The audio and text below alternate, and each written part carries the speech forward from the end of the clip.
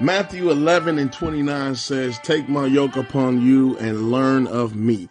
Why should you come to church? To learn of the Father and to learn of the Son, Jesus Christ, and to learn of all the gifts and the talents that are within you, that you may use them in life to better your, your life, to do your goals, take care of your goals, knock your goals out. So come on and come to church to learn that you may be better in life and bless those around you. God bless you.